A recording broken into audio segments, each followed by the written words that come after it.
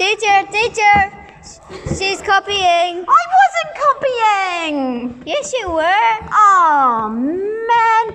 It, I just didn't know the answer. And You're so clever, and I was just getting stuck. What?